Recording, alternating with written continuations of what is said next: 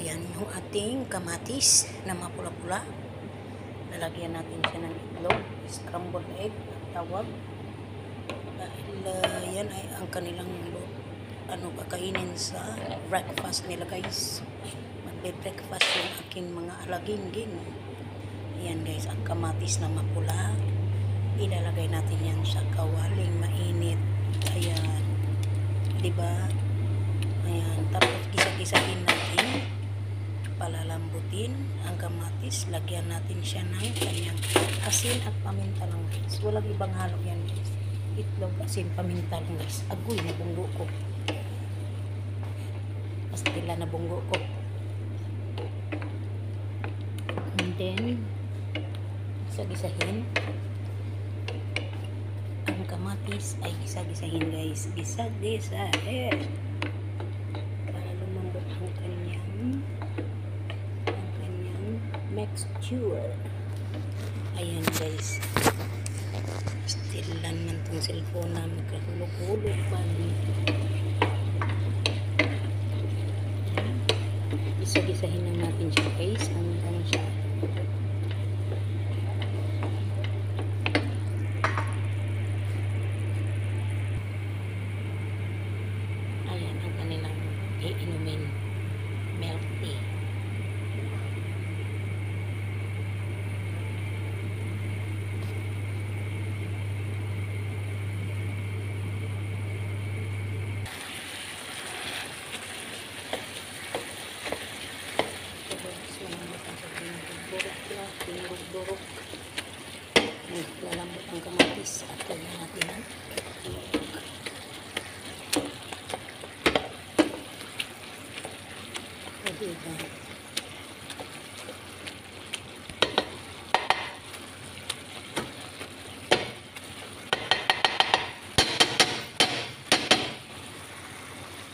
And then, pagkalambot na is yan. Tulog-tulog na yan. Tulog-tulog na. Malambot malambot. Yan siya. Ilagay natin si egg. Ilagay na natin si egg. Ayan ang egg, egg. Ayan, egg. Ilagay natin ang egg sa kamatis. Ayan. And then, kay ubi na naman tayo guys. Ano ang Ano naman siya ay malabo. Ang kanyang yellow, yellow. Durugin, durugin. Ayan.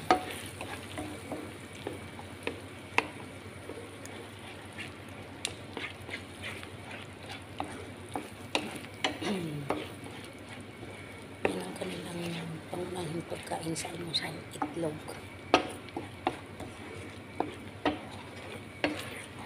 Ang itlog. Sina ako guys, sa umaga kasi ako. Kasi kumakain na sila sa umaga. Kung ramadan kasi hapon na sila kumakain. Kaya sa umaga, nakakapag ano ako sa YouTube. Ayan, ang aking milk tea. Nakulo-kulo na siya guys. Isasalin ko na siya sa termo. Yan guys oh. Di na. Luto na yan guys. Luto na. Na kasi pinaka-try ko lang siya konti. Kasi ayaw ng ano, mga bata na medyo may sabaw sabaw. Kung sa akin masarap ang may sabaw. Di sa kanila ayaw nila eh. Medyo basa yan nila kaya pinapatry ko siya konti.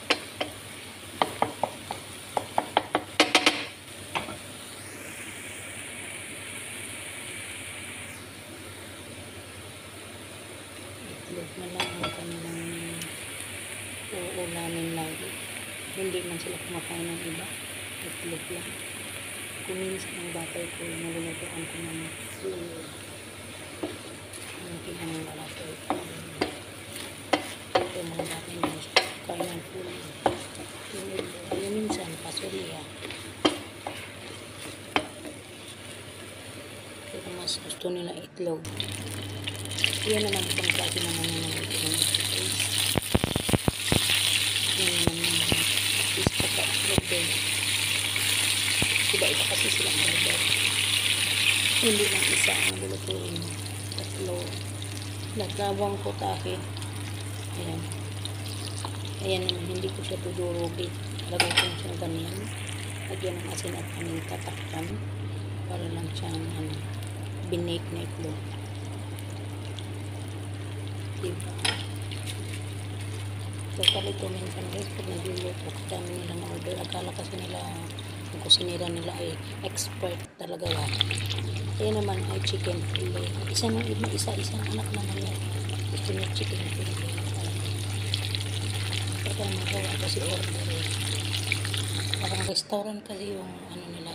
Yan naman yung chapati natin guys. Na nasunog ng chapati. Paano hindi masusunog yung isa na sa yung isa na sa isang kalan, ang isa na sa isang kalan. Ayan. Paano sila guys kumain ng sunog. Sakit ang ulo ko pagka dumating. Pagka ano na, pagka nagsasabay-sabay silang magsabi na, ganito gusto ko, ganito gusto ko. Ayan. Iba-ibang gusto nila guys. Hindi lang isa ang gusto, kundi iba-iba ang klase. Kaya sunod lang tayo kasi Mano ka naman yan sila. Mahilig sila sa chapati. Walang kumakain chapati araw-araw. Pag walang chapati, nagagalit sila.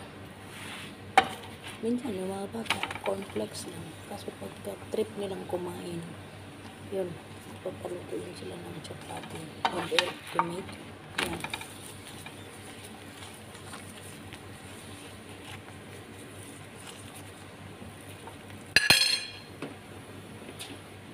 Yung sa mga matatanda at man guys, ay, ang kanilang kinakain ay brown na kupus. Ayan guys, o yan. Na brown na tinapay yan guys, na harina. Ang ginawa ko, parang tinapay siya, bilog siya.